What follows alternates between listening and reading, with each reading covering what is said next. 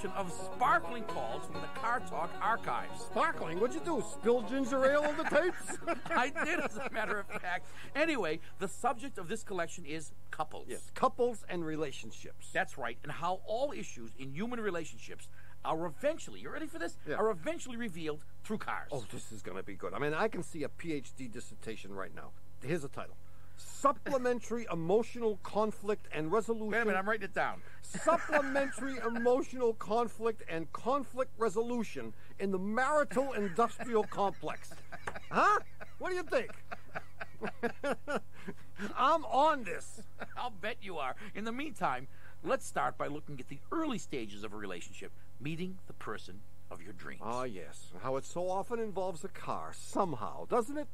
But in this particular case with a caller named Chris, the involvement of a car was more than just tangential. oh, yeah. Listen, listen to this 800 332 9287. Hello, you're on Car Talk. This is Chris in Colorado Springs. Chris, Yeah. what's up, man? My question is about how to go about meeting women in traffic. You know, this can be a depressing time of year for us bachelors. And I Ah. was wondering if you had any uh, good strategies. Wow. You know, short of uh, having a head-on or Yeah. uh, playing bumper cars. Wow, oh, in I other mean- words, how to get how to get that female that you that you've spied through your, from your driver's seat Yes, to first of all notice you, yes. and then to actually roll down her window. Why would why would anyone do that? Why would any this th- boy, Chris, this is a challenge. Wait a minute, don't give up though. No, I'm not giving up because I mean I tried this for years. I mean I- i- Is it appropriate at a stoplight to just get out of your car and leave it there and walk around to the passenger side and knock on the on the on the glass to get in? no, you'll go to jail for no, that. No. that's not good. I mean, you, it, this this is going to be voluntary on her part. So either she's got, you have to have a car that she's interested in, for example, and I don't know how you're Well, going to get her that's obviously why some guys go out and buy Ferrari Testarossas. testosteronies. right, and that's obviously why because it's a, it's the kind of a car that you think Yeah. women will say, "Wow, what's that?" And I have noticed. Yeah, In fact, this past summer I was driving a BMW Z3 yeah, on the highway. yeah. With the top down Yes. and the wind blowing through my bald spot. but as I was, I mean, I, you know, I got enough hair to almost fake it. I mean, the stuff Sure. was blowing around. Yeah, yeah, And a car full of young girls yeah. had been following me. I noticed at a, at a distance. They were in the left-hand lane. Still my heart. I was in the right-hand lane, and this this car full of young babes yeah, is following me. Yeah. obviously wanting to check out not just the car, but who but who's that? behind the wheel. Boy, I'll tell you, you never saw a 65 Dart move faster than when they pulled up next to me and found out who was driving. So there is the They car were does- disappointed, you might They were. They were. But Well- they wanted to see the car, and when they saw the car and who was behind the wheel, boy, they zoomed off on that dart, and, they, and they were gone. So the car, obviously, you can have, you can buy an interesting and expensive sports car. Well, I'll liquidate my entire stock portfolio first thing tomorrow. no, the, the thing that got me thinking about this was was the fact that cars are so damn reliable these days that there Yeah. just aren't any damsels in distress, you know, to be saved with their Yeah. cars broken down by the side of the road anymore. Yeah, and You're nobody wants to be right. saved anyway because all they'd want you to do is call the police. nobody, don't get out of your car. If you want to do me a favor, call the police on your cell phone, or they have cell phones. And you can't trust anybody, and that's part of the problem too. Right. Well, Chris, I think Yes. Th- the solution that, that I know that guys like Berman used for years because he could never get any girls to talk to him was a dog, Ah, the puppy. a puppy dog especially. Yeah. Mm. It's got to be some. I mean, nothing, I nothing don't- is cuter. Yeah, I don't care if you're allergic. Yeah, I don't like dogs. I don't care. and my cat doesn't like the car very much. No, for your cats are no good. But See that? You're a nothing, cat person. Nothing is cuter than a little golden retriever, furry golden retriever puppy. I mean, if you didn't old. have women all over you, Well, now wait a second. I'm cuter than a golden. Uh, I don't retriever think so. puppy. Ah, come on, will you? no, no. Quasimodo could have a golden retriever puppy on the end of a leash. Right. and Christie Brinkley would be beating on the door to Yeah. beat him. Trust us. I mean, you do have an interesting idea here, though. That I mean, there's the, the positive side, the silver lining to a traffic jam is you could meet the love of your life if you only knew how to do it. So think about it. People So would, what, what, what do you use for if you were to roll down the window? hmm What would you say to an attractive female that's in the car next to you? Yeah, what if I mean, what if you were lucky enough to get her to roll down her window? Or better than that, she turned to you and smiled. Oh, Oh. What, Oh. what would be your next step? I know his next line would be. All- All of American men are dying to know this. What would you say next? I would say uh, my car would like to get together again with your car. Bad, And we're both invited. bad. Uh, the females in the group. Okay. Karen is giving two thumbs down. Two thumbs Catherine, down. One- six. Six thumbs down. Yeah, that's. That's try out. again. Try another one. Okay. Um, So there at a you are. You're in traffic. You've been in traffic. You, you're going along. Bumper The- to bumper. The you car catch next up to her. a She couple of catches up exactly to you. back and forth, back and forth. and she forth. just turns to you, she turns to you and, and without any spoken words, she smiles oh, and you and eh, rolls, roll down your window. and she rolls down hers, She rolls down her window. and you say what, Chris? Ba- da- da- ba- Yeah, that's it. That's, That's it. it? You Well- got it. I got it. Well, I th- I think Karen and Catherine agree that that's better than the first one. well, Chris, I don't know what the answer is, and obviously you don't either. No, right. But right. maybe we'll get some suggestions from people. Well, the, the, the, the, the, the, that, that works good, but trust us, the puppy, The puppy. the God. puppy works. Yeah. Chris, I like it. we Yeah. want you to know we're here to help. Oh, I re- that really touched We're me. with you, Chris. Hey, Chris, Yeah. thanks a lot for your call. Hey, thank See you. you Bye. later. 1 800 Woo. 332 9287. That's the question all America wants to know Wow. the answer to. Interesting. What do you say? What do you say? You've got one line, and it's going to be good. It's going to be good. Having your puppy jump off, off jump up off the seat, Ah! put its paws on the windowsill, That's and it. wag its tail. Well, we all admit, we all agree that that is without doubt a foolproof strategy. Yeah. We know that. And her, her next line, her line would be, "Oh, what a beautiful doggy." and, and, and, then- you, and and then even then, what do you say? I just got him. and yeah, do you know anything Yeah. about dogs? He's You- peeing in my lap right now. On oh, my crushed Corinthian leather. we ended up getting tons of mail on this. I think my favorite line was this one. Do you believe in love at first sight?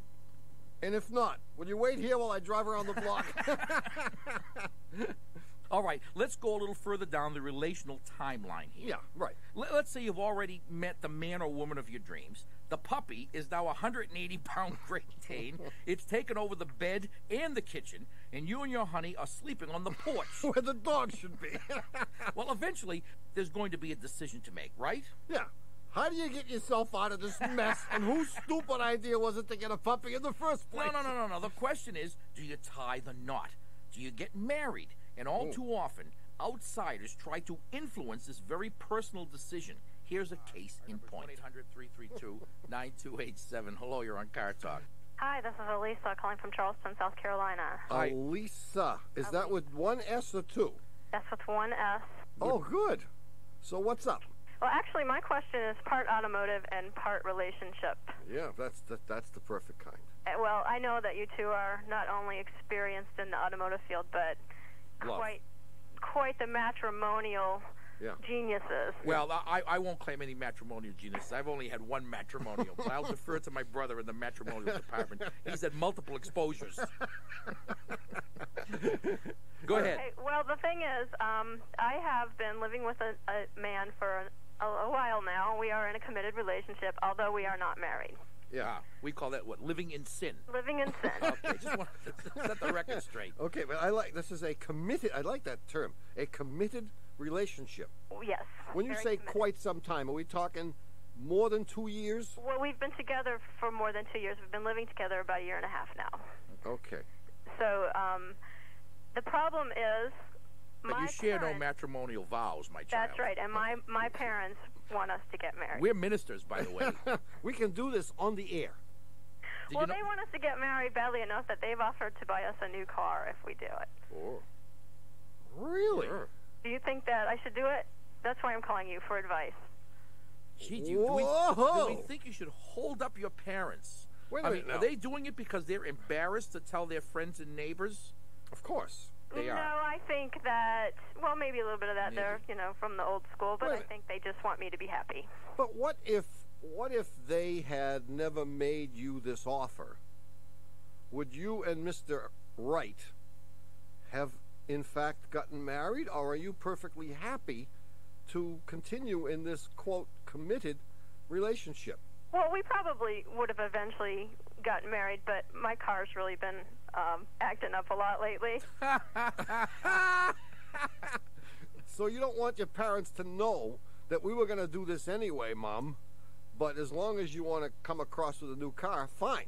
Well, that I, that's deal? why I'm calling you. I don't know. Is that what I should So do? you, so well, you want to know if, know. if this is ethical?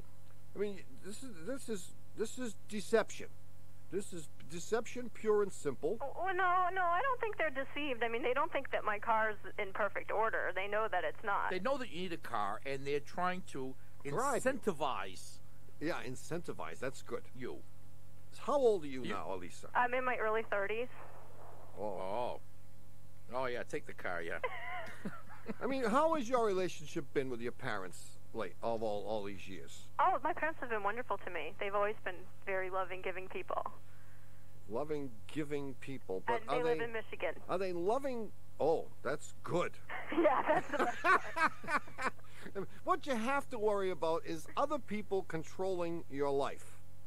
And if you allow other people to control your life, even from a distance, then how different is that Well- from any other kind of criminal activity? Have they bribed you any, at any other time in the past? Well, obviously they have. She said they're very giving people, and, and it sounds to me like they're giving to control you.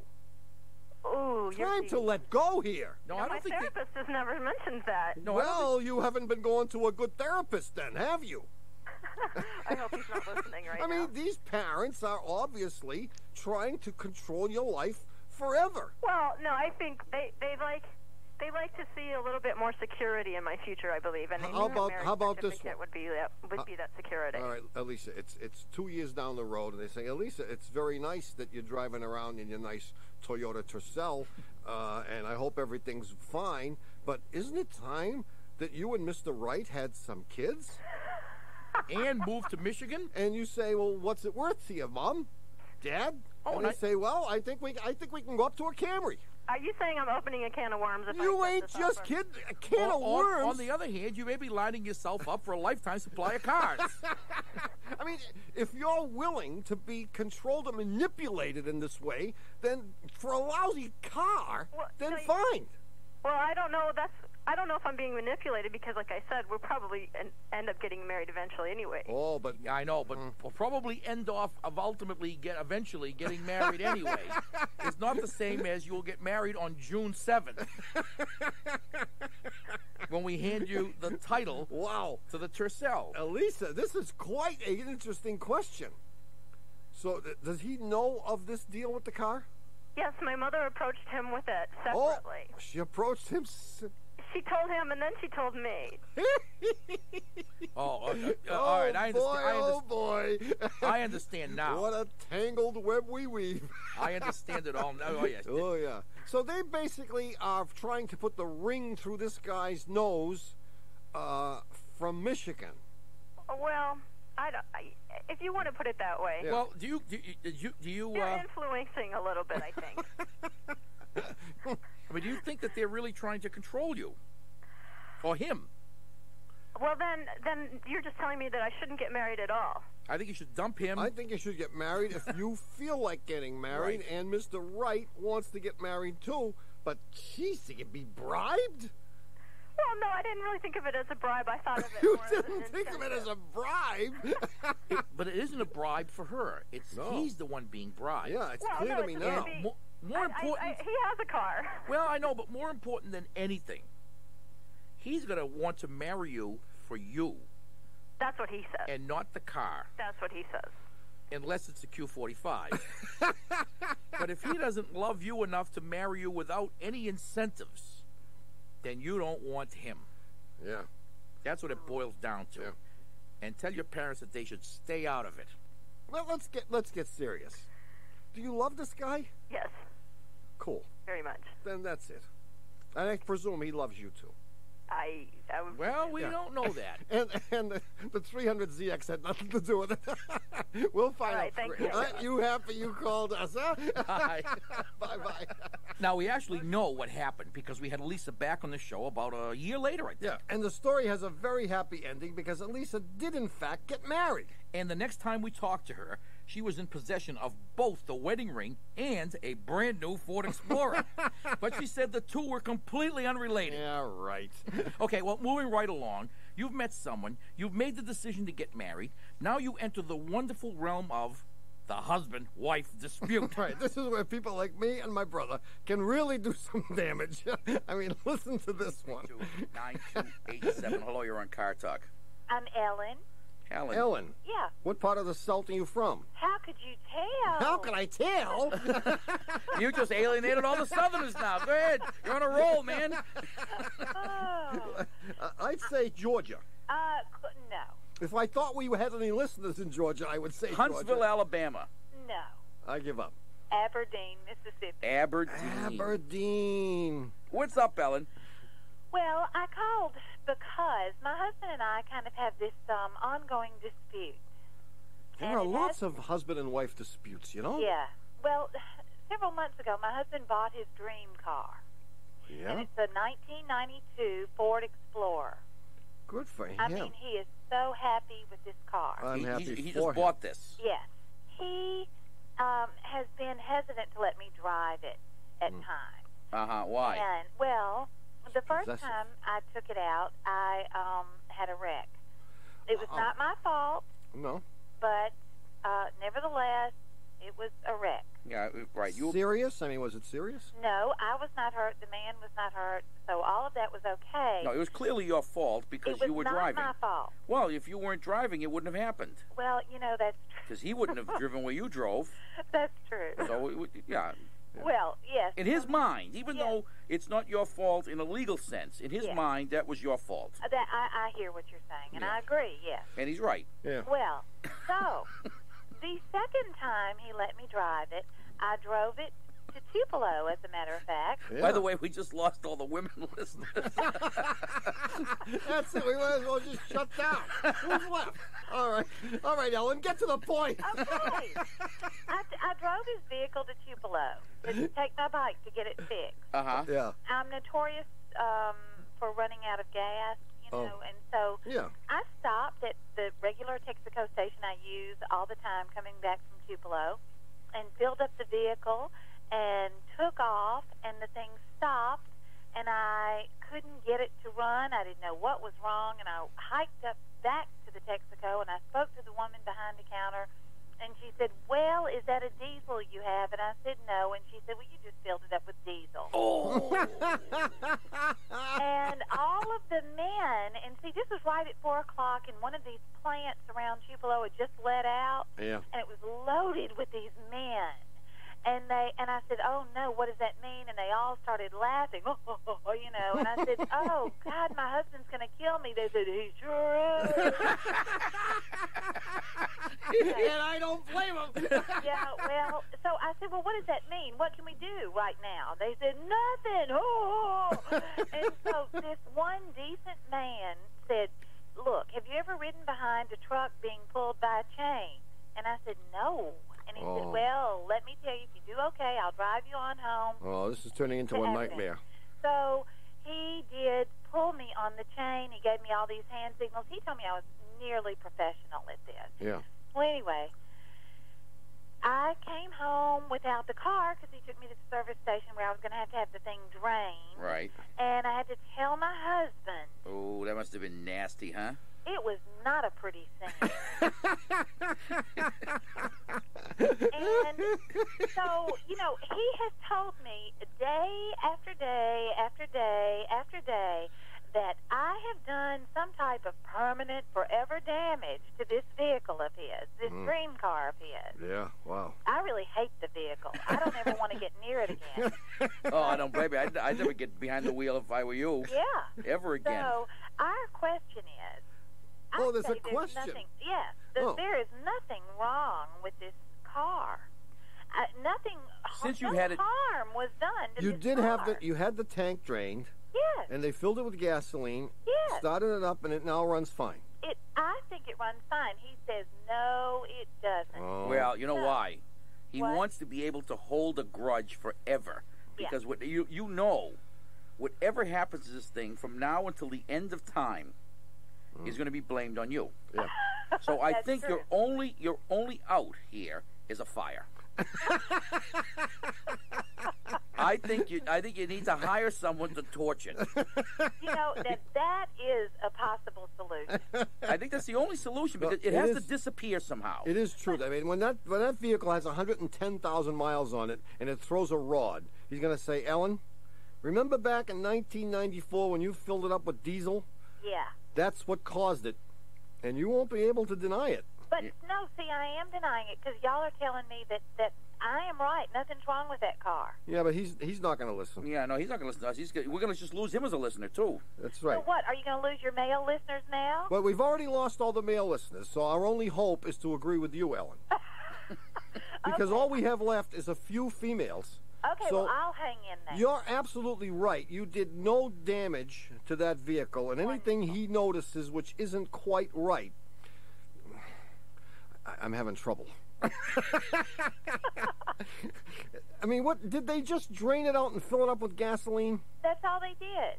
He says it doesn't run as smoothly. He says that there are all kinds of problems, and you know, it's just I, I- you. I mean, they didn't drain out the lines. They just drained the tank. Uh, Yeah. Did they take Right. the tank out? The I gas don't tank. know. I don't know. I don't have any idea. Yeah. Is your husband around? Yeah. Can we talk to him? You still on speaking terms with him? Are you are you are you really kidding? No, no, serious. You want me to go get him? Is Yeah. he? Will he talk to us? Oh my God! Wait, he's a he's a Is, male. is he in? Is he in like the gun room or something? I was trying to get in a room where it was quiet. he isn't cleaning his gun, is he? Oh my gosh! Let me see. Go get him, Ellen. All right. we'll never hear from her They again. want to talk to you. They want to talk to you. he will not talk to you. He won't. That's He right, because we've alienated all males. now, here, uh, let's be honest. Just for let's be let's be serious just for a moment. Uh, it is possible. There is some small chance that the diesel fuel, being crud to begin with, Yes. might have in fact clogged up injectors. Right. It's only one step up from the primordial soup. That's right. I mean, diesel fuel it, I mean, it comes out of the ground, and just the way it comes out of the ground, they put it in the tank. So it is pos- It is not as refined, so to speak, as we are. I mean, as as gasoline is. Right. So it is possible that he that your husband is indeed right. So I would get them to put some to maybe clean the injectors, or even put some injector cleaner in the there gas are many tank. additives on the market that will help to clean the injectors and, and make them work the way and make, get the spray pattern back to where it, it should be, and that'll help. Okay. But the, the, the more important issue is restoring your, your relationship here to, to where it was before you started all this. assuming it was all right. It must have been all right. He gave her the vehicle to drive, so Yeah. he must have had some degree of trust. Well. Well, you, that's- Ellen, you, you sound. I mean, I don't know what your husband's problem is here. You sound like a very nice lady. Oh, I think so. I think you and are. And that's the only thing that has saved your butt.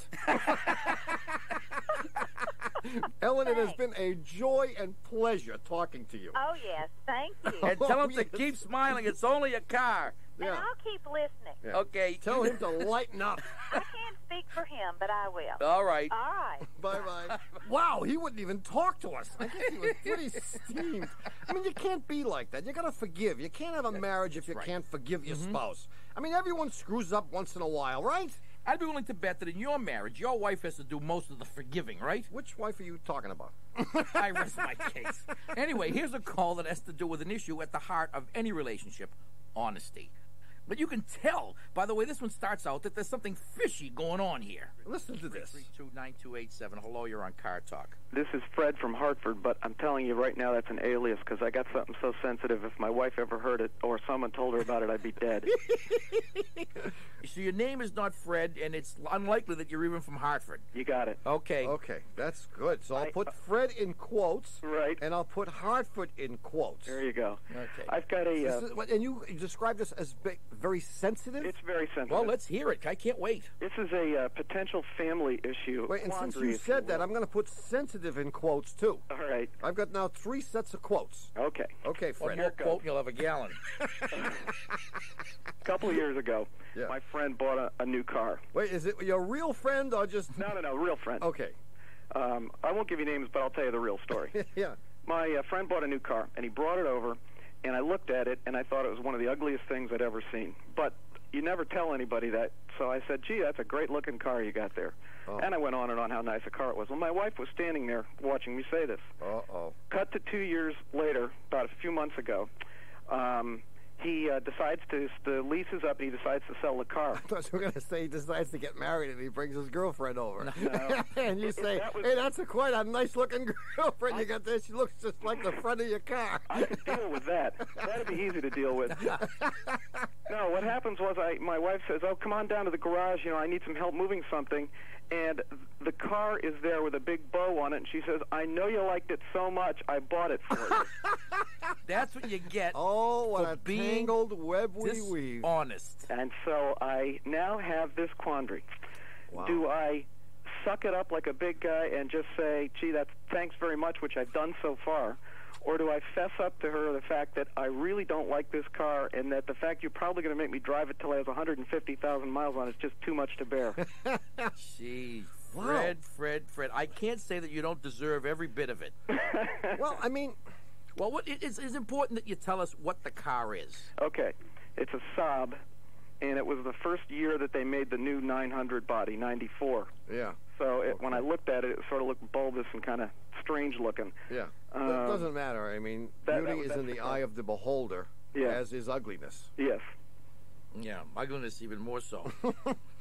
Yeah. See, I mean, when you t- when you started to tell the story and you said that he brought the car over Mm-hmm. and you thought it was horribly ugly, and then you told us, but being a nice guy, you said to him, "Gee, what a nice looking car." I was going to say, there's no reason to say the opposite of what you think. You could have said Nothing. nothing. Or you could have said good luck. You could have said something neutral, like, "Gee, I understand these are really good in snow." Right. I could have. I could have. yeah. You could have. But you opened your big mouth. I did. Yeah, your wife is, I'm sure, a wonderful woman, and the fact that you have dece- you're you're about to try to deceive her again. No, you can't Yeah, do you that. want us to, to figure out a scheme for you. I mean, it's one thing to lie to your dear friend, Mm-hmm. But you can't lie to your own wife. Yeah. Trust me on this. You know Right. why? You think I ought to come clean and They tell her I catch you don't every like it. time. oh yeah, they do catch you. It may, There's no way you can lie. it to may your take time. they always catch you. so you have to fess up to All your right. wife. Yeah, I think and so. You have to tell her, hun.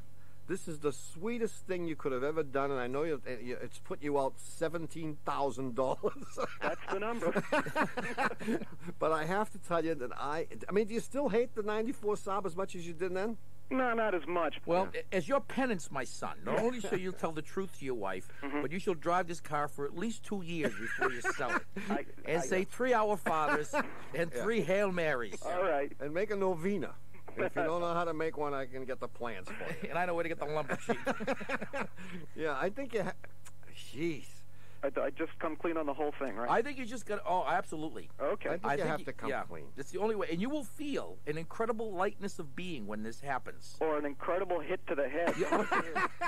Yeah, a dope slap may be in order. I'll have to take it.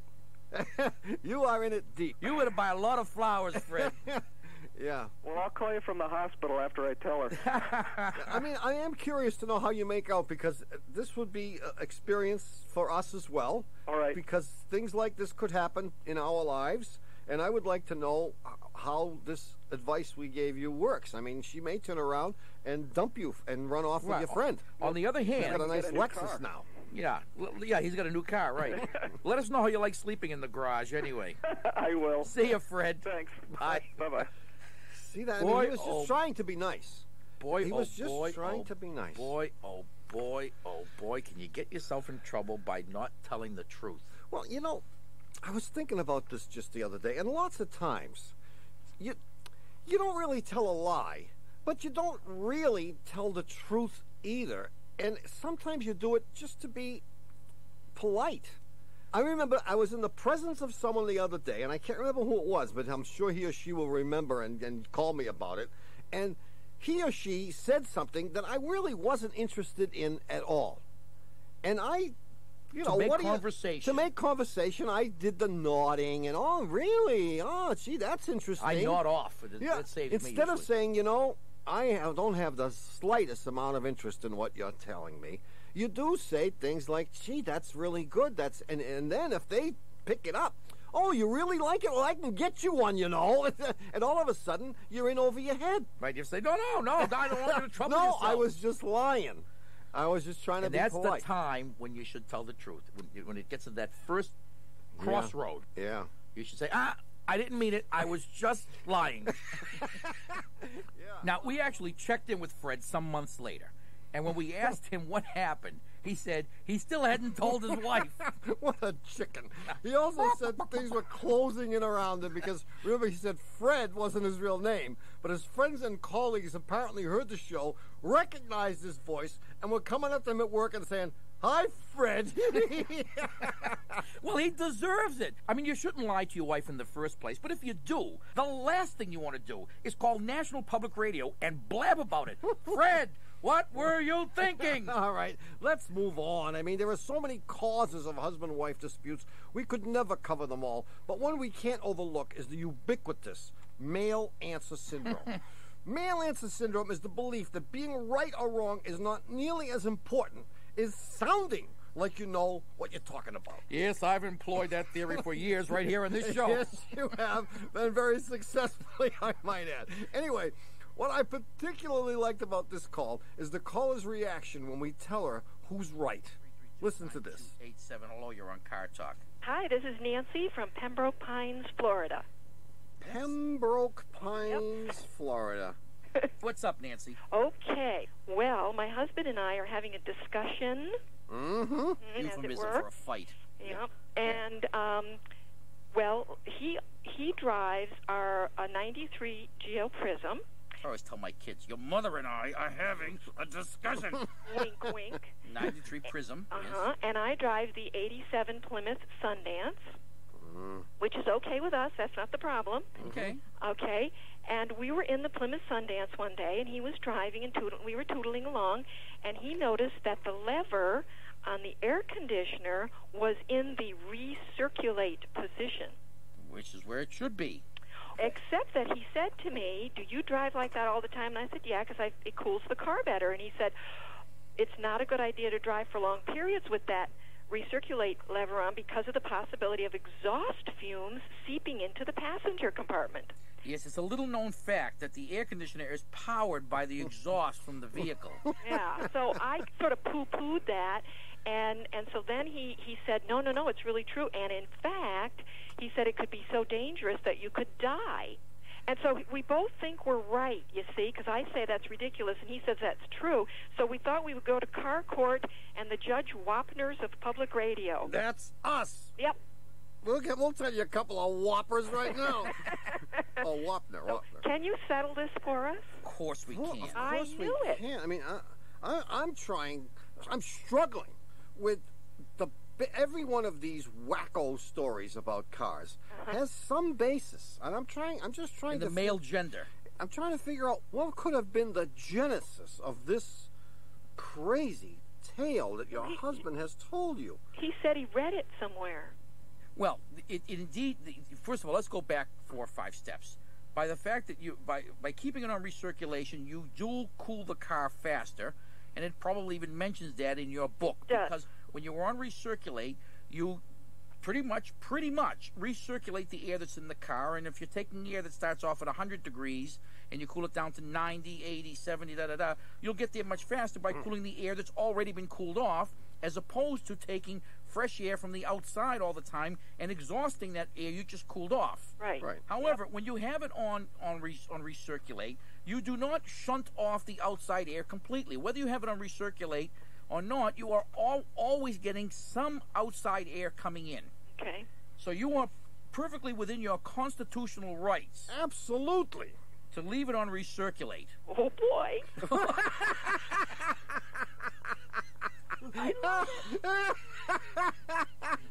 That's good, Nancy. That was very, very good.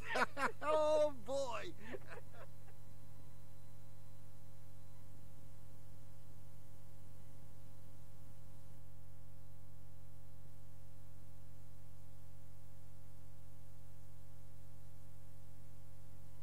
Fresh air from the outside all the time and exhausting that air you just cooled off. Right. Right. However, when you have it on on re, on recirculate, you do not shunt off the outside air completely. Whether you have it on recirculate or not, you are all, always getting some outside air coming in. Okay. So you are perfectly within your constitutional rights Absolutely. to leave it on recirculate. Oh boy.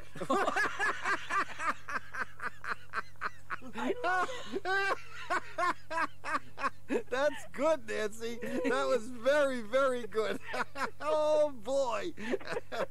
and not only that, but you've got the right, the constitutional right now to also tell your husband that he's nuts. Oh. and that's even better, isn't it? It is. Now, before you just you just uh, spring this on him, Nancy. Yeah. I'd cook him a nice dinner I- first. Yeah, right. be very be careful. Men have very fragile egos, as you know.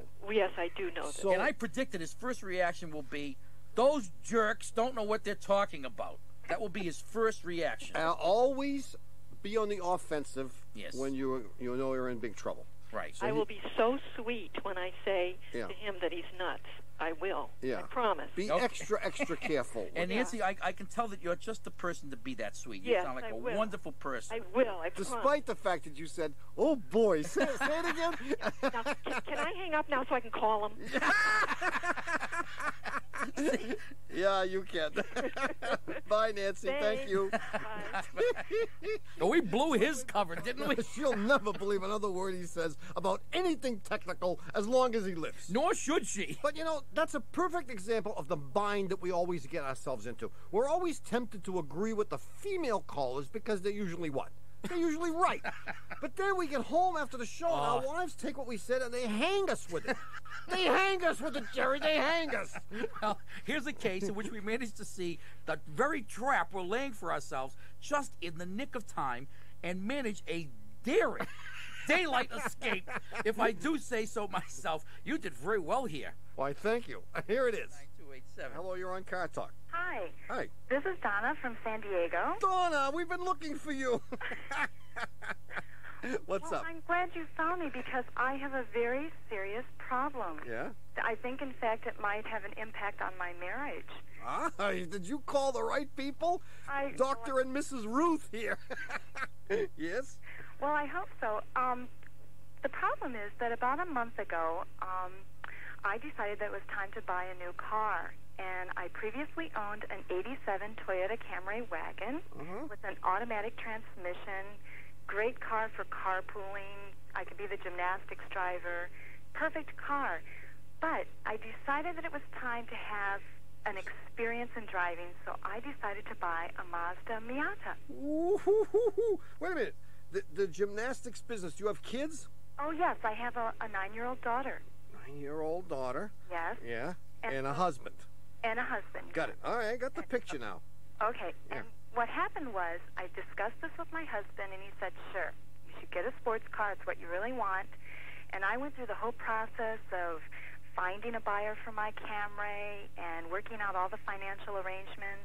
And then when I drove the car home, my husband decided that he should play a very important role in terms of who gets to drive the car and how it's operated. yeah. He, did he give you stories like this? The breaking in period is very important, Donna. I and if you've be- never broken in a new engine, I better take care of this for you. I can't believe you said that. That's exactly what my husband said. Actually, Yeah, I it's think he classic. called. I think he called us on our private line about two months ago. yeah, this is the classic ploy.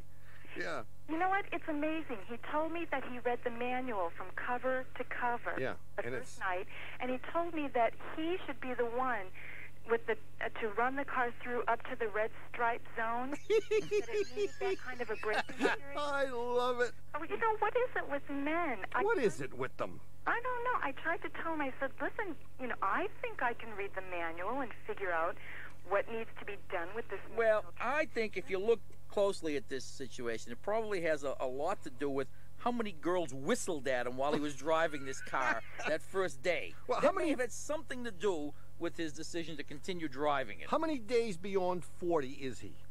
Um, he's forty-five. Oh, as a Yeah. matter of fact. Huh? Yeah, well, they won't be whistling long. so, so you'll get the car back sooner or later. Right, when he finds out that even the Miata's not going to help him, he'll give you back the car. Right, is he going to the hair club for men yet? he may decide he needs more hair now. no, but you're absolutely right, Don. I mean, men are such jerks when it comes to this. I mean, to think that an intelligent woman like you would fall for such a lame brain story. You did, though, didn't you? Well, well, not exactly. You know, he really, he really tried hard, though. He tried to convince me that he had to be the responsible, conservative one. Yeah. Now he has to drive his car for gymnastics, and I'm out driving around in this little sports car. Oh, so what is his car? Oh, he has an Isuzu Trooper. Oh, that's really exciting. Oh, see. So, Oh, What he's really worried about is that someone's going to scoop you, Donna. He's going to see you. People are going to see you driving down the street with the top down in his car, and that's going to be it. He's he's afraid. This is a measure of his love for you. You ever noticed a, a, a, I- a tan firebird following you around, have you? Jim No. Rockford, I think, is probably on this case. Actually, now I was wrong. I mean, we're, we're all wrong on this. Your husband is not a jerk. This is a measure of his love for you. He's afraid that you're going to get stolen from him. And so, to prevent that from happening, he wants you to drive around in the frumpy trooper, and he'll do the. It's, a, it's one of these. It's a rotten job, but somebody's got to do it. you know, uh, he's, Right? you know, he's right. I, and I apologize. I never met your husband, and I have to apologize. I think my brother's right that he's really, he's really doing his best for you, Donna. He wants to keep you for himself. and- So every time he says, "I'll take the Miata today," throw your arms around him, give him a big kiss, and say, "Hun, thanks for loving me this much." see you, Donna. Okay, thanks, you guys. yeah, sure. See you later. bye bye. I like the way you got us out of that one. That was elegant, graceful, even. Well, thank you very much. it took us many years to learn some of the basic lessons of talk show hosting. Like early on, someone would call and say, I'm thinking of getting a certain kind of car. We would try to talk them out of it. And then we finally realized that what people really wanted from us was positive reinforcement. In most cases, they already had put a deposit on the car. Or it was sitting in the driveway already. right. so now if someone says, I'm looking at an 88 Yugo, we say, Great idea. Are they open today? Well, we also finally learned a similar lesson about husband and wife disputes. And here's the rule if the question involves something totally insignificant, like a car, for example, just tell your spouse that he or she is absolutely right and forget about it. That's right. I mean, preserving the fragile ego of one's mate is much more important than lording technical correctness over him or her for a mere 50 or 60 years. As fun as that may sound. Here's an example of our theory in practice. 9287. Hello, you're on Car Talk. Hi, this is Dolores with a D-O instead of a D-E yes. from Roanoke, Virginia. Huh. Yeah, and Hi, Dolores. hi. I have a nickname Dodie, so you can call me Dodie if you like. Dodie, you're only the. Se- is that a common nickname for Dolores? I don't think so. I, I know a couple uh, girls who are Dorothy, and they call them Dodie, but there are very few of us Dodies around. Oh. Yeah, we call my brother Dodo. That's great. I like it. love it. I love it. So So, what's, what, what's up, what kind of a heap do you drive, Dodie? Well, I'll tell you what. I drive a 1982 uh, Fleetwood Cadillac. Yeah. How about that? And it's uh, my husband and I. We have uh, his and hers Cadillacs. All right. Yeah. He's always uh, he has driven a Cadillac because he does a lot of traveling, and he thinks that's that's really great. You know, it's it's much comfortable. So he's got the new one, and he gives you the old one. That's right. So you got the hand-me-downs. So you have a hand-me-down Cadillac. So it's really special, especially when I drive up to his office. It, I don't know, it's sort of, uh, you know, I like to drive up and, and have both those Fleetwoods sitting side by side. It kind of gives you a little special feeling. You know how it is? Yes. It yes. does. It does. I can see that. Yeah. I wish I could find a matching 63 Dodge Dart for my wife. Then we could have this same joy and feeling of oneness as you and your husband obviously have. I'm sure she'd be thrilled. Well, it, it is a thrilling experience, and you should really try to help her with that. I'm trying. I am. Okay, well, this, this is our problem. It's almost turned into a family fight, and I thought you two guys would be uh, uh, neutral and and at, at least uh, tell us tell us the truth about it. But this is what happens uh, when I'm riding with him. Uh, just as we pull up to a stoplight or a stop sign, or whenever he's going to just stop momentarily, he he shifts the gears. He Into neutral. puts it into neutral. And I say, why do you do that? And he says, well, it's much easier on the motor. It keeps pulling and pulling, you know. And I said, well, if you want to shift gears, why don't you buy a car with a, with a gear shift? and he, you know, and he says, well, uh, you can see that my car runs much better than yours, and that's the reason yours doesn't run as well as mine because you don't do this. Oh, See, Cadillac boy. doesn't make a car with a gear shift. No. They, actually, Wait a they minute did now. Is your husband recently. Did she tell us what line of work her husband is in? Is he Does, either wait a minute. Does he wear white shoes ever? Uh, he he he wears uh, white shoes sometimes when he's just you know just casual, like at the beach. Ah, At the okay, beach, but never during right. never during working hours. No, no. Is he in sales? He he exactly. He is. Uh, he's a life insurance professional. See, you can't help but put those white shoes on once in a while.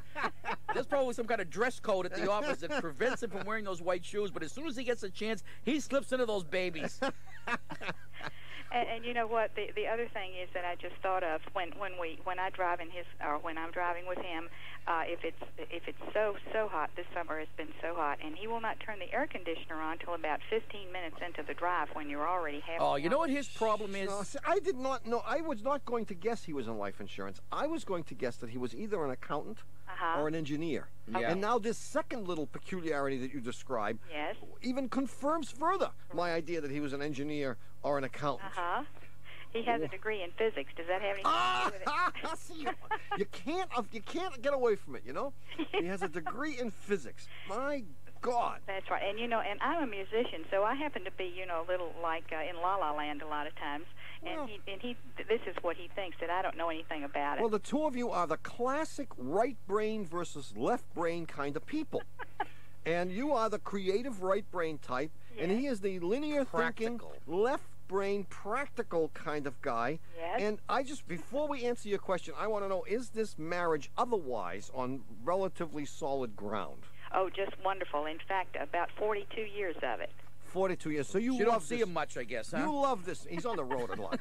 you love this man. I certainly do. I think he's the greatest, you know, and I don't argue with him. If he says black is white, I'll say, okay. Good for you. then you know what to do? What? Tell him that what he's doing is absolutely right. Oh, Now, Even between, though it's all between wrong. you and us, Yes. he's nuts. okay.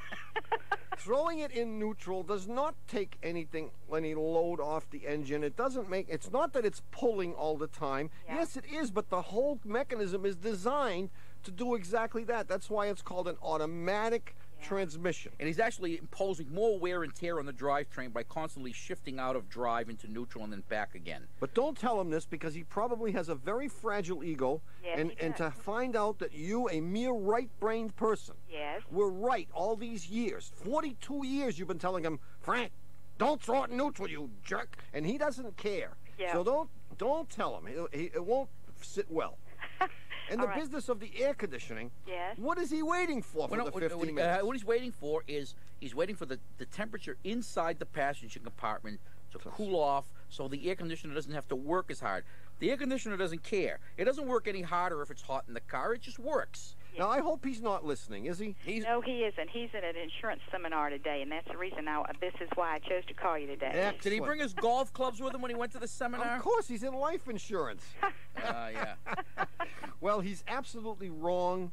but Okay. I think we should keep it between us. All right. Or among the three of us. Great. We we should do that, and and I think maybe that'll even get me to 50 years of. Not only that, but it'll get you into heaven because it's clear that you are an angel. to be able to sit there for 42 years while he's doing this and say, fine, if Yes. that's what you want to do, hon, that's fine by me. And now, knowing that you're right, Yes. it's going to be even harder to keep your mouth shut. Oh, But you'll know deep down inside that you're right, and you can you can take comfort with that. I Jody. will. and Well, that your place in heaven is assured. Thanks for calling, Dodie. Thank It's you, been a and you all pleasure. are you all are great. You make me happy every time I hear you. And you made us happy, too. Great. See Thanks. ya. Okay. Bye. Bye bye.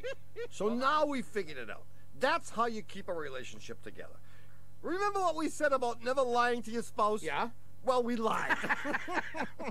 Right. When they're wrong and it's insignificant, you can lie all you want. if only we could remember that. Anyway, let's move on to the later stages of a relationship. Right. Let's say you're married, you've worked out the major disputes, like how often he has to sleep in the garage, Yeah, we're and working then on that. kids come along. Then the kids grow up, and sooner or later they're ready for college. And around that time, you suddenly realize that your kid has developed a complete personality of his or her own, and he or she is entirely capable of causing big trouble. Or, as in the case of this kid, being a complete pain in somebody's butt. Just our kind of guy. now, now, I have to admit, this clip doesn't really belong on our couples and cars collection. No. In fact, it doesn't really belong anywhere. But we figured this is an excuse to work it in. This, Yeah. You know, couples and cars, Sure. the whole bit. I mean, we just couldn't fit this one on our last album, and we really wanted to hear it again. This became known around the office as the MIT letter. Listen to this. This is great. John Longan. Correspondence. Well, I, as always, I don't know who, how this got to us because it comes from 25 different people and it e- ended up at, at the website. But here it is. It says MIT certainly has MIT certainly has a reputation to be proud of, but its admissions department went a little overboard, I think. The first letter is an honest to goodness mailing from MIT, and the second one is a prospective student's answer. So this is all legit, real true, as far as you can believe anything that comes to you Via the web. Right. So this is the letter from MIT to a Mr. John T. Mongan of California. Dear John, you've got the grades, you've certainly got the PSAT scores, and now you've got a letter from MIT. Maybe you're surprised. Most students would be. But you're not most students, and that's exactly why I urge you to consider carefully one of the most selective universities in America.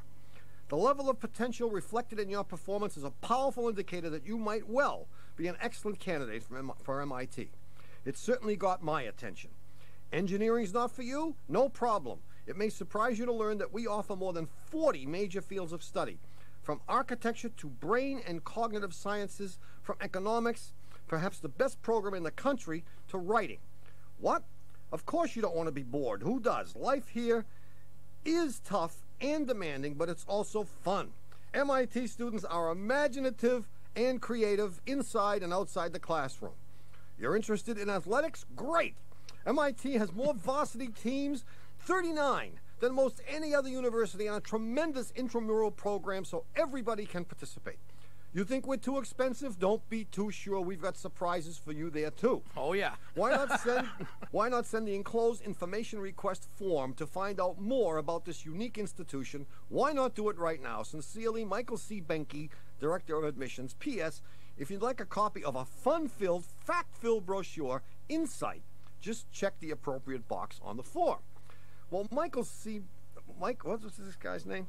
John T. Mongan writes back to Michael C. Behnke, MIT Director of Admissions. Dear Michael, he says, you've got the reputation, you've certainly got the pomposity, and now you've got a letter from John Mongan. Maybe you're surprised. Most universities would be. But you're not most universities, and that's why, and that's exactly why I urge you to carefully consider one of the most selective students in America. So selective that he will choose only one of the thousands of accredited universities in the country. The level of pomposity and lack of tact reflected in your letter is a powerful indicator that your august institution might well be a possibility for John Mongan's future education. It certainly got my attention. This guy Behnke deserve this letter back? Don't want biochem students? No problem. it may surprise you to learn that my interests cover over 400 fields of study, from semantics to limnology, From object oriented programming, perhaps one of the youngest professionals in the country, to classical piano. What? Of course you don't want egotistical jerks. Who does? Who does? I am self indulgent and overconfident, but I'm also amusing. John Mongan is funny and amusing, whether you're laughing with him or at him. You're interested in athletes? Great. John Mongan has played more sports, 47, than almost any other student, including oddball favorites such as orienteering. You think I can pay for your school? Don't be too sure. I've got surprises for you there too. Why not send a guaranteed admission? no pencil neck geeks, no, No problem. anyway, enough about MIT recruitment tactics. Let's get back to relationships. Sort of. Yeah. Here's our next little scenario. You've been together for a while. Right, things are fine. Patterns and habits have started to set in. At this point, keeping that flame of love burning is one of the challenges in every long term relationship. And here's a clip that shows you the dangers you can encounter if you try to do it by concentrating on superficial things. And this is good. Seafood diet. okay. I mean, well, of course, we, you realize that if, if you want to be attractive to the opposite sex, you've got to be slim and trim. Maybe. And here's the, the new diet. this is sent to us by David Leventhal from somewhere, from the email. Uh, breakfast: half a grapefruit, one slice of whole wheat toast. Wait, should I be writing these down? No. Dry and eight ounces of skim milk. Lunch. Four ounces of lean broiled chicken breast, one cup of steamed spinach, one cup herb tea, and one Oreo cookie. Mid afternoon snack. The rest of the Oreos in the package. Two pints of Rocky Road ice cream. one jar of hot fudge sauce, nuts, ch- cherries, and whipped cream. Dinner. Two loaves of garlic bread. cheese, a large sausage, mushroom, and cheese pizza. and three Milky Way candy bars. you see how things are deteriorating. Well, that's what happens when you starve yourself. You start with half a Wait, grapefruit. this more. I can't see my eyes are all teary. Late evening news. Entire frozen cheesecake.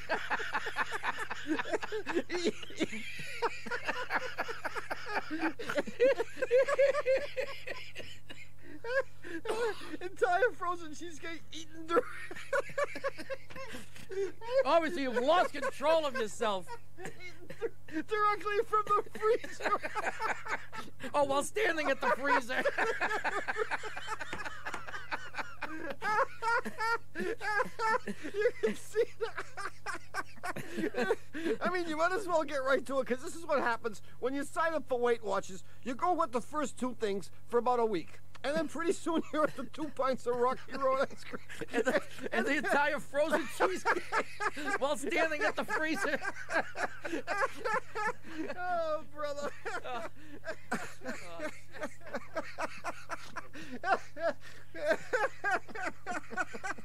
oh, boy. That's all absolutely true. Not a false word was spoken there. Absolutely. Well, now we've covered meeting someone, deciding to get married, husband wife disputes, keeping things interesting, but we all know that sometimes relationships just don't work out. It happens to the best of us. Sometimes a couple of times. Well, this next call should give you something to keep in mind when a relationship is dissolving. 9287. Hello, you're on Car Talk. Hi, this is Sarah. Sarah, is there an H at the end of it? Yes, there is. Good. Hi. Where are you from? I'm calling from Cambridge. And I have a- Massachusetts? Massachusetts. I just moved here a year and a half ago. From? Colorado. What's up? Here's my my problem. It's kind of a little story. I moved here a year and a half ago with my 1982 Volvo four door, which I love. Yeah. It has 100,000 miles on it, and I take very good care of it. Yeah. So here I am, and I'm looking for a mechanic. And I find this fantastic mechanic. He's so great. He's good to my car. He's honest. He's fair. It's an old car, so things need to be fixed. Let us know where he is. We'll drum him out. We'll run him out of town on a rail. We'll have a lynching tonight. Who is this guy? His name's Patrick. He's out in Jamaica Plain at uh, West Cork Auto. He's great. Ooh. He was very per- prote- protective of me when I first moved here. Patrick you know from West Cork Auto. No, No. we don't know him. So, kind of a long story short, I met a really nice guy, Yeah, and I I, int- and he also has an older car. He's from mm-hmm. Massachusetts, and he has a mm-hmm. '72 Mercedes. And I introduced him to my mechanic because he was having some problems. Yeah. And my mechanic gave him great deals because my mechanic really likes me and he knows that I'm good to my car and he cuts me some slack on the oil change and the filters and he just he cuts me a deal every now and again. Mm, this is. I, I see. I I- see a triangle coming here. It's coming. Yes, it is. So here we go. I introduced him to this young man, uh, this man that I'm dating, Yeah. and they, he starts getting all this work done on his car, really good deals, and we've broken up. Oh. Who? You and the mechanic? No, You and Mercedes. the mechanic is married. Me and the Mercedes. Mechanic we is- broke up. He did something very bad, and Oh. so he is history. Oh. And now my question is, and after we broke up, listen to this. Yeah, wait, whoa, whoa, whoa, oh. whoa. If, he, we, if you if you were willing to divulge the fact that he did something very bad, you've got to tell us what it was. He was seen kissing another woman in public. Oh, that's bad. Very bad. And he was seen by by a third party, evidently. By a number of third parties. Really? Yes. Patrick And- wasn't one of them, was he? No. Patrick may be trying to No. bust you two up. You're- I have sus- suspected that from the very beginning. I did too. I mean, I, I, I mean, if if Patrick Patrick doesn't is giving you all these deals on the oil changes, No. are you sure he's not putting the moves on you? Patrick's married. I'm sure he's not. He's very nice Catholic, Irish Catholic mechanic. He's a very nice man. I'll repeat. I'm sure he's not putting the moves on. I'm sure. no, I'm sure. But here's my question. Just just because he did something bad, Yeah. I think that the the gods were not blessing him, and he got into a car accident after we broke up. And I know that his car is being fixed. This is Mercedes now. We're The talking about. Mercedes is being fixed. Yeah. And I just heard this through the airways. And now Patrick is working on the car, and Patrick doesn't know Mm.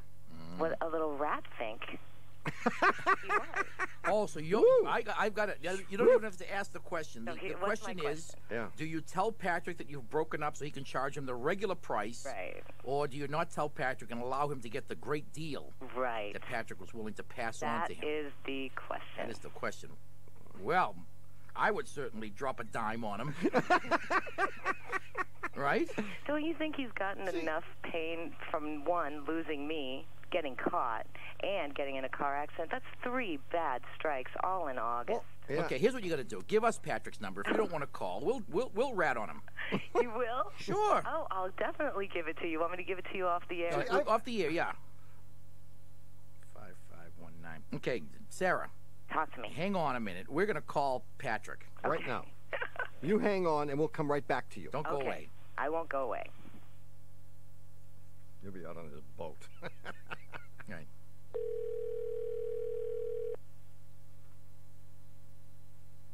Where's Colorado? is Patrick there, please? This is me. Hmm. Hi, Patrick. Uh, you probably don't know us, Patrick. Uh, this is my name's Tom, my, and my brother is Ray, and we're talking to you from the studios of WBUR in Boston. Uh-huh. We, we do a, a call-in car radio show. Okay. We just had a call from a woman named Sarah, whom you know. Sarah. She's a Sarah? customer of yours. She owns an 82 Volvo. She's a sweetheart. Well, she had. Here's Well, she had kind words for you too. She said you were the best mechanic in the Boston area. Oh, I doubt that. I doubt that very much. Well, we t- that's what we told her too. We told her also. but she said you were you were kind and considerate and protective of her. Oh my God. I'm married. Well, well, Yes. she also said that, and we we didn't believe that either. no, here's the deal. She said that she introduced a guy to you who has a 72 Mercedes. Oh, he must be her boyfriend. yeah, Yes, he's the that's her boyfriend. boyfriend. Well, That's you- why she called. you you used the wrong tense of the verb. He was her boyfriend. Oh, really? Yeah, and that's why we're calling. Oh. Because she's always felt that you've given her a very good deal on her car and on the repairs, and had passed that along to this fellow with the Mercedes, figuring Uh-huh. that that they were uh, an item. You know, they were boyfriend and girlfriend. Yeah. And now that they are no longer together because he was caught kissing another girl, she wa- she wanted to call you and, and tell you that. That you should jack up the price on him and charge him the regular price, and certainly not give him any discount because Maybe, maybe not work for him at all. Uh, or maybe not work for him at all. Right? You might want to tell him to get his junk heap out of there. Oh my God. Or fix his car and really tuck it to him. I think we might just do that. Good. But she was embarrassed to she was embarrassed to call you, and so but we told her we have no shame whatsoever. I and- guess not. So what are you going to do? Are you, you going to just tuck it to him, or are you going to just tell him to take a Well, hike? you know something. It's not my nature to talk it to anybody. See that? Good I for couldn't you. do it. I No, knew. I, I, would knew just that. Tell him, I would just probably tell him that uh, I don't do that work in Mercedes anymore. There you go. D- d- Oh. Right, exactly. Good for you. We don't do those oil changes anymore. In Not Mercedes. anymore. The Yeah. stuff, the stuff is not available. It can't work on it. It's the wrong color. Yeah. The wrong color. So friendship is more important to you than money. Uh, well, friendship is everything. Sure. How long you been in this car repair business? Oh, I've been in it for about 18 years. How the heck did you last with a stupid philosophy like that? A that? good personality. well, the next time Mr. Mercedes comes in, tell him to take a hike. well, I'm going to give him a sock first between the eyes. she's she's, she's Okay. the best thing that came into his life. This, yeah. Yeah. She sounds like a very nice person. She is a real nice girl. Except she's very vindictive here, isn't she? Huh? She's rather vindictive. Have you known any woman who wasn't? All right, I think you've said enough, Patrick. All right. Okay, thanks a wife lot. may be listening. Sorry to bother you. All right, can we get Sarah back? I'm right here. oh, you are. I'm right here. A- And you you couldn't hear our conversation with Patrick, I presume. I did hear it. You did hear I it. heard the whole thing. Oh, good. And Well, how do you think we did? Give Well, us I a just- rating on a scale of one to 10. On a scale of one to ten, I thought you guys were great. I didn't like the vindictive part because I'm not. We didn't say that. That was Patrick. I Oh, it was Tom. That's right. Oh yeah, it was me. I'm not vindictive. I was calling for advice. Right. I was calling for your advice, and I wouldn't have. I wouldn't have told him if you told me no, don't do it. Well, isn't it surprising though that Patrick w- is going to choose not to work on this guy's car? Oh, isn't that sweet? Isn't Well, I have found sweet? when- whenever I have couples that, that take their cars to us, that Oh. when they break up, I Oh. lose both customers Really? because they're oh. both afraid to have a chance meeting. Well, I mean, how would you ever oh. know? I can't keep track of who broke up with whom and make sure I schedule them for different days. What if I had Joe's car a day longer than I thought I was going to have it, and and Sally came in to pick up her car on Wednesday, and Joe happened to come in to pick up his car, which should have been done on Tuesday, but didn't get done till Wednesday, and they met, and there was a big incident. Well, you know, that's what surprised me when when you said that Mr. Mercedes here was taking his car back to Patrick. Right. I was surprised that he would do that because of the chance of bumping into you. He obviously knew that you still went there. No, he still wants to talk to me. I mean, he- oh, oh. okay. So that's the reason. Yeah. He didn't think he did anything wrong. He didn't. Well, He really doesn't. Yeah, and you don't want to give him another chance. No more chances because he'd already gotten a few chances Oh, before. he has. Okay. no, all right. Well, we didn't. Yeah, we all right. weren't privy to that information. Yeah. I think so we'll just right we'll thing. just leave it at the. It's Yeah. Now is now is It's the his, time to he's go. history. Okay, he is history, and that's well, you it. did the right thing, Sarah, and By I'm glad that calling you guys? Patrick is backing you up, right, by calling us. Patrick is a good man. He seems to yes, be. he is. Well, I thank you guys very much, and uh, if I ever need, um, I think the only way that Patrick will ever lose me is if I go back to Colorado. Hmm. So we're together here. Well, that's good. I'm glad we could help. Thanks for calling. Bye. bye bye. well, this concludes our album on relationships, and, and you are now armed, I suppose, with all the techniques that have uh, been employed by us so successfully in our very own relationships. I mean, and we, we've done well. Some of us have done. Well, we- well, I mean- has either one of us done marvelously? Despite what you say, we just got this little note uh, slid under the door of the studio by our chief legal counsel of Hugh Louis Dewey. oh, gee. and it says on here, please read this at the beginning of the tape. Beginning? Beginning? It's all over. Now he shows up. Here's what it says Disclaimer. Under no circumstances should anyone attempt to use any of the techniques described here without appropriate adult supervision. Serious injury and possibly alimony payments may ensue. Tom and Ray will in no way be held responsible since they have their own alimony payments to worry about. well, good luck. Good luck anyway. Bye bye.